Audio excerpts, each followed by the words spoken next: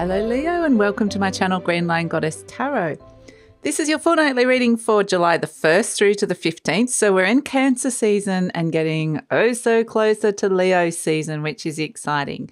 But what I get for you, Leo, is um, this image of the lion by the fire in the dark. And it's this sense of trying to warm yourself uh, because it's, I get that you're in the shadow. You're in the last sign before your sign, before your season. You know, you're at the tail end of your solar batteries. Your batteries are about to get recharged once we get into Leo season. But it's like you kind of there's a little bit of a sense of now is a time for quietness and introspection and reflection and to just sit with some things, which can be a very creative process, actually, if you're working on something, a project or something creatively or something you're wanting to bring in in your life. This is where you're kind of letting something marinate. It's an energy of just sitting with it. And it's just going to be so much better giving it the time. You know, imagine uh, they keep saying like a marinade. Marinade's so much nicer when it gives it time for all the juices and everything to kind of the flavors to all flow into each other. And so I, I think it's kind of like the, it's a, a time to just uh, yeah, honor your soul really is the energy I'm getting. Honor where you're at because you're about to go into step into the light once we hit Leo season. But quite literally, we've got the Hermit card coming in for you contemplation and wisdom. Sorry, Leo, I've just got a bit of a cro- crackly old throat today, a little bit like the crackling fire I'm seeing, where you just um, in, in the vision I was getting. And look at this cute little koala, the hermit, contemplation and wisdom. This is a great time to be more receptive to be in the divine feminine rather than the divine masculine, because that will come through as soon as we hit the fire. We're, we're in water season, Cancerian season. It's a very sensitive season. It's a season where you might want to feel like you're more it's more of a homebody kind of energy that's coming through with the with this um, more emotion. There's a lot of emotional energy. We've got eight of crystals, dedication and progress. So this doesn't mean you're not doing anything though. It doesn't mean that you're just sitting there doing nothing. You are. You're marinating, quite literally. Uh, you're about to make this absolutely beautiful sauce. Uh, you're absolutely, it's going to be delicious, but you're you're busy, so you might be sitting with things. And we've got Page of Crystals, ideas and discipline. So this is where you might kind of want to move forward, but this Page of Crystals is saying stick with something. Uh, yeah, stick with where something's at at this moment in time. Like, really work on the ideas. That's kind of another thing, some of the ideas that you've got going on in terms of whatever's going on in your life. And yeah, have the discipline to stick and stay with where you are at the moment because it's like part of you will want to push forward. That's what I'm getting with this, Leo. But, uh, you could push forward, but the sauce won't be quite as delicious because it won't be quite ready yet. It wouldn't have had that time to marinate. So, yeah, it's you'll end up with a better product if you have that this sense of quietly sitting with it. So, yeah, the time will come, Leo. It will, and when when you're ready, it will burst out. But this is what we're getting now. Sword ten, Uranus Gemini, and Wand ten, Sun Sagittarius. Both of these are the tens. They're, they're at the end of something, the tail end of a cycle. And like we're saying, you're at the tail end of your solar cycle, quite literally, where you might be feeling a little bit tired, where you're kind of putting a few ideas or closing some chapters, putting some things to bed, quite literally, letting go of some ideas that haven't worked for you or some belief, deep belief systems that haven't been working for you. So, the two tens would say this is a great time for endings because, like I said, the beginnings will come, but this is a great time for working on releasing and letting things kind of naturally pass in your life. So, yeah, I mean, once, like I said, once we hit that Leo season, the sun is going to come out again. So, what's going on? I feel like there's too many cards here. They all just went crazy, but we did have the tower, which is like, uh, expect the unexpected. There might be something um, interesting coming on here, but let's see. Let's see, perhaps it's saying this is what the energy is going to do because I'm kind of getting it's like you're very quiet and sitting with something And then when you're ready, it's like boom. Okay. So I and I feel like that's when we hit, like I said, Leo season. I don't know how many times I have to say that. Let's get the cards happening. Let's get the cards happening. I'm just getting the right Leo energy into the cards here.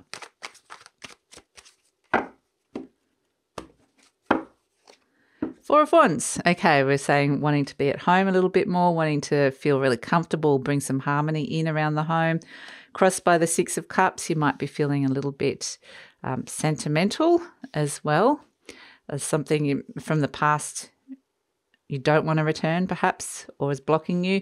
The star card, beautiful in your conscious mind. So that's a nice energy to come through. At the base, we've got the Eight of Cups. So, like I said, you're sitting with some energy and really realizing what is no longer fulfilling you, which is important. Here you are, the Queen of Wands.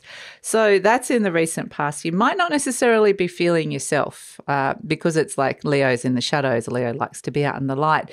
The fire was flickering. So, is wanting to warm yourself into some cooler energies around you. But look what comes in the sun. okay, beautiful. The sun is coming out, which is fantastic in the near future. We love that.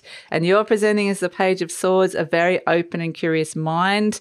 Lovely to come through. I just got to get all these in the right place so we've got room.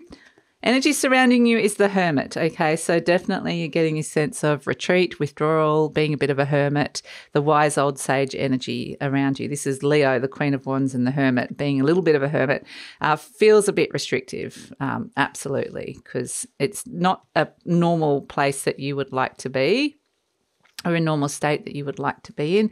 And we've got the Knight of Swords. Like I said, when things are happening, they'll happen and they'll happen quick when the energy shifts and changes. And we've got the King of Pentacles. Okay, so this is uh, saying that there is something, we're looking at what's marinating here. If we're marinating this King of Pentacles, this is a really good thing to marinate and to be creating in your life or person if this is what you're wanting to bring in, because this is very generous energy, very abundant energy. It's like getting your needs met. It's the card of money.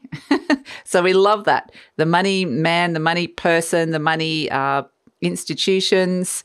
Uh, this is somebody who's very generous. So this could be that you are about to be very generous yourself or you're about to meet somebody who's very generous but it's it's uh, what's marinating could bring you this abundance or you could bring you this connection with this king of pentacles it can be like a boss energy it's not gender specific just because it's a king um, but it could be somebody that is wealthy or doing really successfully in business, somebody who in a relationship can provide a lot of your needs, you know, most of your needs with the King of Pentacles.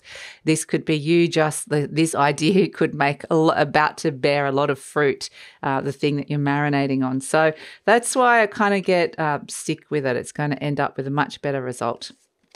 So the situation is the Four of Wands. We're seeing the 1111 here. Um, this is very much your element. It's the element of fire, the wands, and it does represent happy home, happy heart. It's like looking at what it is that you truly want in relationships, especially relationships that have a very, very strong soul connection, a soul mastery of what's going on. But this is also to do with just in general what you want in your life. It is crossed by the Six of Cups. So there could be a sense that you know that you're moving on from the past. There could be a little bit of nostalgia from the past. But this Six of Cups can, its blo- is blocking you. So there's an energy from the past uh, or a memory uh, from the past that is that is kind of um, yeah perhaps i mean it's it, the six of cups is interestingly wanting to bring i mean it, it's in the blocking position but it's a very gentle blocker. It's not a doesn't do much in terms of blocking, um, but it's very much uh, about wanting to bring harmony back into relationships. And we see that with the Four of Wands that this is a situation that you really wanting to know what it is that I want and uh, the deeper sense of harmony in your life. In your conscious mind, you've got the star, which is a beautiful thing to have in your conscious mind because this is where you're being very strongly guided. You've got the star inside your head going, I've got this future vision of where I want to go to.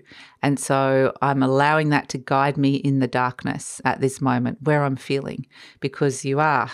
Here's the hermit with the star guiding. This is energy around you. And because it's next to the Queen of Wands, which is the Leo energy, this is you.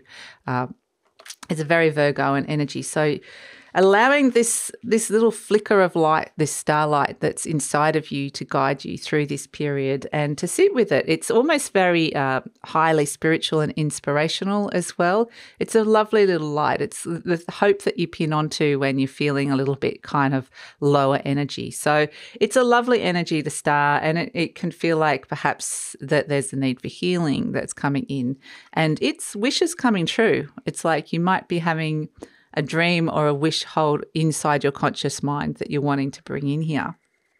At the base, we have the Eight of Cups. So, this is where, and I feel like this is very connected to the Capricorn, the full moon in the sign of Capricorn.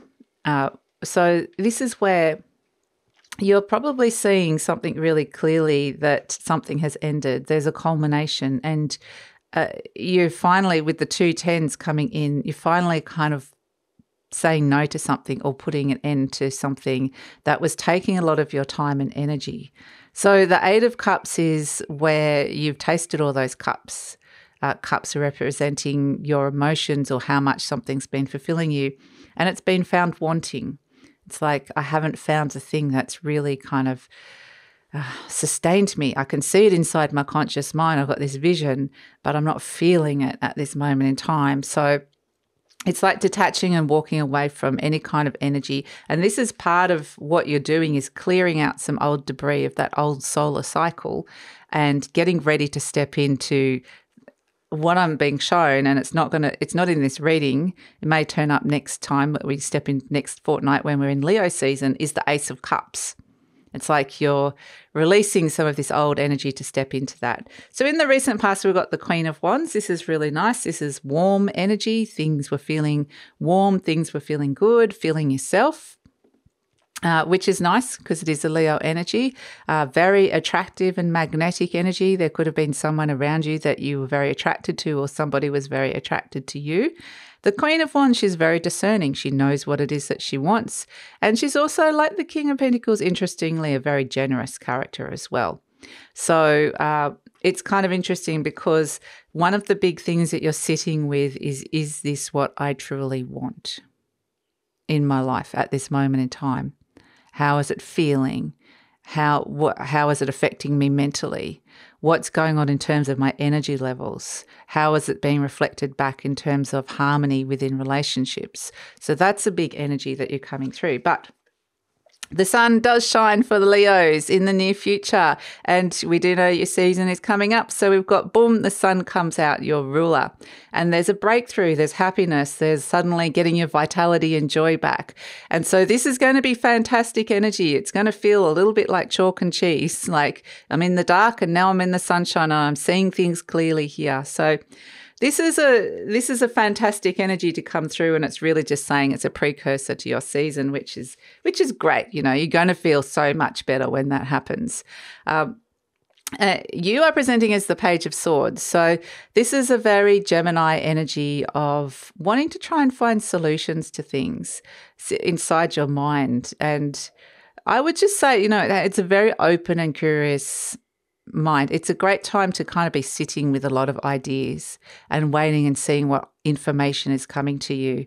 So the page of swords is yes, like it's it's ideas, information, solutions coming to you, but it's more of a I feel like it's more of a receptive, you know, this page has got his ear to the wind, just waiting to see what information is coming through and as to the next direction into where you're heading next. So we did talk about the hermit energy and the energy surrounding you is a little bit quieter it's a little bit more withdrawn it's a little it's wise as well. It's it's a lovely wise energy. There quite literally could be a virgo around you that you might be connecting with as well. And if this energy is around you i think that this I feel like this is a very grounding and soft energy for you. A sense of it's just nice to know there's somebody there sitting by the fireplace with you in the darkness, watching the fire.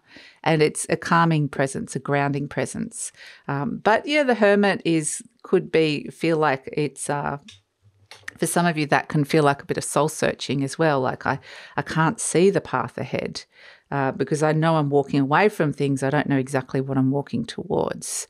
Uh, and that's because it's not the right time. But you will, those things will come. So this is why you're, you're feeling like this, the Eight of Swords. This is in your hopes and fears, which is just like, I don't want to feel like I can't see. I don't want to feel trapped. I don't want to feel like I'm in the dark all this time. I don't want to feel restricted. And this is actually a, like really about limited thought thoughts or forms of thinking or feeling just like restricted in terms of environmental factors around you and events. So, luckily, I feel like that's just a fear. So, that's not something that I think you have to worry about. I don't think anyone would hope for the Eight of Swords. But I mean, sometimes if you do want that, like maybe if you did want to just have your time away from people and you did want to kind of restrict your diary, restrict um, what going out, maybe that is what you do want. Yeah, I mean, it could work like that.